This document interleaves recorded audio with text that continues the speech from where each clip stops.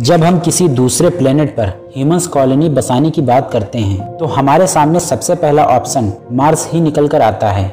लेकिन मार्स आज रहने के लिए बिल्कुल भी सुटेबल नहीं है। लेकिन ये सुनने में साइंस फ्रिक्शन जैसा लगता है कि मार्स को टेराफार्म करके अर्थ जैसा बनाया जा सकता है। मार्स आज पूरी तरह से वीरान पड़ा हुआ है, लेकिन मार्स के पास कुछ ऐसा खास है, जो इसे अर्थ से काफ़ी हद तक सिमिलर बनाता है। जैसे अर्थ पर एक दिन 24 घंटे का होता है उसी तरह मार्स का एक दिन 24 घंटे सैंतीस मिनट का होता है, जो अर्थ से सिर्फ़ सैंतीस मिनट ही ज़्यादा है। आज से साढ़े चार बिलियन ईयर्स पहले, जब अर्थ एग्जिस्ट में आई थी, उसी वक्त मार्स भी बना था।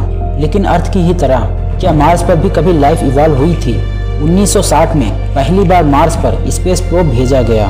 उससे पहले ये माना जाता था कि मार्स पर भी अर्थ की ही तरह लाइफ एग्जिस्ट करती होगी। लेकिन जब नासा का मेरिनर स्पेस प्रोब मार्स तक पहुँचा तो उसने मार्स की कुछ इमेजेस अर्थ पर भेजी। उस इमेजेस को देखकर ह्यूमंस की एलियन से मिलने की उम्मीद ही खत्म हो गई थी, क्योंकि मार्स की वो इमेजेस ये बता रही थी कि मार्स पूरी तरह से वीरान है। लेकिन साइंटिस्ट का मानना है कि मार्स पर बिलियन ईयर्स पहले लाइफ इवाल्व हुई होगी, क्योंकि मार्स को पूरी तरह से मैप कर लिया गया है, जिससे साफ़ साफ़ ज़ाहिर होता है कि मार्स पर कभी न कभी नदियाँ और समुंदर मौजूद रहे होंगे। और जिससे ये साफ़ हो जाता है मार्स पर काफ़ी मोटा एटमॉस्फेयर भी रहा होगा, जो कि मार्स पर मौजूद पानी को सरफेस पर लिक्विड स्टेट में बनाए रखता होगा। साइंटिस्ट का मानना है कि काफ़ी टाइम पहले ही मार्स का कोर ठंडा हो गया था, जिसकी वजह से मार्स का मैग्नेटिक फ़ील्ड खत्म हो गया और मार्स का एटमॉस्फेयर मार्स की वीक मैग्नेटिक फ़ील्ड की वजह से स्पेस में चला गया और पानी भी धीरे धीरे वेपर में बदल कर स्पेस में चला गया होगा और मार्स ठंडा, सूखा बंजर हो गया।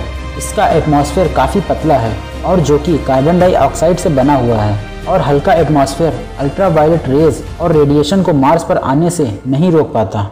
लेकिन अब तक मार्स पर जो सबसे ज़्यादा चौंकाने वाली डिस्कवरी हुई है, वो है मार्स के एटमॉस्फेयर में मीथेन गैस का मिलना, क्योंकि कुछ लिविंग ऑर्गेनिज्म ऐसे हैं जो मीथेन गैस रिलीज़ करते हैं और ये इस तरफ़ इशारा करता है कि मार्स पर किसी न किसी फॉर्म में लाइफ मौजूद ज़रूर है, जिससे मार्स बायोलॉजिकली एक्टिव है। और या फिर मार्स का कोर अभी भी एक्टिव है, जो इसे जूलॉजिकली एक्टिव बनाता है और ये ही एक्टिविटी मार्स को एक्टिव प्लेनेट की लिस्ट में ऐड कर देता है। साइंटिस्ट को उम्मीद है मार्स पर लाइफ किसी न किसी फॉर्म में मौजूद ज़रूर होगी और इसी की रिसर्च के लिए साइंटिस्ट ने मार्स पर कई प्रोब्स और रोवर्स भेजे हैं, लेकिन एक रोवर पाँच साल में जितनी रिसर्च कर सकता है, उतनी तो एक ह्यूमन एक से दो हफ़्ते में ही कर सकता है। स्पेस एक्सप्लोरेशन को नेक्स्ट लेवल पर ले जाने के लिए साइंटिस्ट ह्यूमन को मार्स पर ले जाने की तैयारी कर रहे हैं। मार्स पर जाने का ह्यूमन का यह मिशन बिल्कुल भी आसान नहीं रहने वाला, क्योंकि वहाँ पहुँचने में ही लगभग छह महीने का वक्त लगने वाला है और इतने लंबे सफ़र के लिए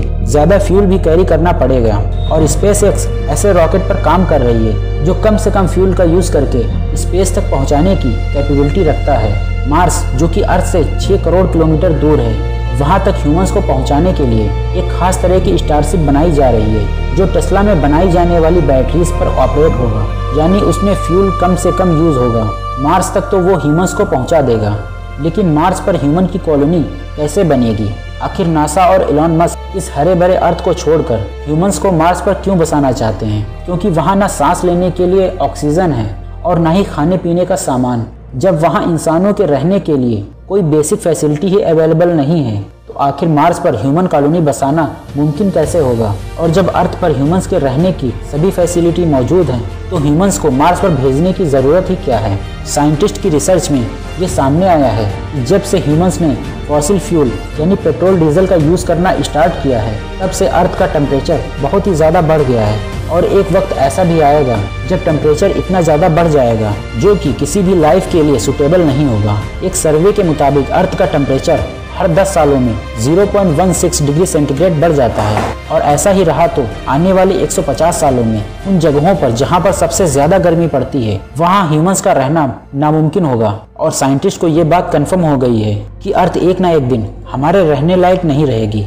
और इसीलिए ह्यूमंस अपने लिए एक दूसरा घर यानी दूसरा प्लेनेट ढूंढ रहे हैं। एलोन मस्क के मुताबिक 2026 में ह्यूमंस का एक ग्रुप मार्स पर भेजा जाएगा और इस ग्रुप के पास मार्स पर दो साल तक ज़िंदा रहने के लिए फैसिलिटी मौजूद होंगी। लेकिन इस ग्रुप के जाने से पहले मार्स पर एक शेल्टर बनाना बहुत ही ज़रूरी है और ये शेल्टर मार्स की मिट्टी से ही बनाया जाएगा और इसको बनाने के लिए ह्यूमन से पहले मार्स पर इंटेलिजेंट रोबोट को भेजा जाएगा और ये रोबोट अलग अलग हिस्सों में काम कर सकेंगे और ज़रूरत पड़ने पर आपस में जुड़ भी सकेंगे और ये रोबोट ह्यूमन से काफ़ी फास्ट काम कर सकेंगे। इनमें कैमराज सेंसर और मिट्टी खोदने के लिए इंस्ट्रूमेंट और थ्री प्रिंटर भी लगे होंगे और ये रोबोट सेंसर की हेल्प से एक खास तरह की मिट्टी ढूंढेंगे जो शेल्टर बनाने के कैपेबल होगी और जहाँ उन्हें वो मिट्टी मिल जाएगी, वहीं अपना बेस बना लेंगे। और रोबोट मिट्टी को कलेक्ट करके रिफाइनिंग यूनिट तक ले जाएँगे और उसके बाद ये मिट्टी थ्री प्रिंटर तक पहुंचाई जाएगी, जो layer by layer three print करते जाएँगे। महीनों तक ये काम ऐसे ही चलता रहेगा, जिसे अर्थ से भी मॉनिटर किया जा सकेगा। सेल्टर तैयार होने के बाद ह्यूमंस को मार्स पर लैंड कराया जाएगा। और ये रोबोट्स वहाँ ह्यूमंस को वेलकम करेंगे और उनका सामान उठाकर लैंडिंग साइट से बेस यूनिट तक लेकर जाएँगे और बेस शेल्टर के अंदर छोटे छोटे यूनिट को रखा जाएगा। मार्स का एटमॉस्फेरिक प्रेशर बहुत कम है, इसीलिए ह्यूमंस वहाँ इन प्रेशराइज यूनिट में रहेंगे। इन यूनिट्स में अर्थ की ही तरह आर्टिफिशियल प्रेशर बनाया जाएगा। ये सारे प्रेशराइज यूनिट आपस में कनेक्टेड होंगे और इनको इलेक्ट्रिसिटी देने के लिए सोलर प्लांट रोबोट की हेल्प से बनाए जाएँगे। और इसके बाद सबसे पहला काम ग्रीन हाउस इफ़ेक्ट बनाना होगा। जिससे वहाँ पर खाने के लिए फल और सब्ज़ियाँ उगाई जाएँगी और उसके बाद ऑक्सीजन भी बनाना होगा। नासा ने एक ऐसी ही मशीन बना ली है। जो CO2 से कार्बन और ऑक्सीजन को अलग करके हमें ऑक्सीजन प्रोवाइड कराती है। साइंटिस्ट के मुताबिक, अगर मार्स के टेम्परेचर को इंक्रीज किया जाए तो वहाँ पर मौजूद पोलर आइस और ज़मीन में मौजूद पानी लिक्विड स्टेट में आ जाएगा और जिससे वहाँ भी अर्थ की ही तरह एक मोटा एटमॉस्फेयर बन जाएगा। आपको क्या लगता है, क्या साइंटिस्ट मार्स को टेराफॉर्म कर पाएँगे? क्या मार्स पर कॉलोनी बसाना हमारे डीप स्पेस की जर्नी का पहला कदम होगा? कमेंट में ज़रूर बताएँ। और अगर आपको ये वीडियो अच्छा लगा हो तो इस वीडियो को लाइक और हमारे चैनल को सब्सक्राइब करना ना भूलें। Thanks for watching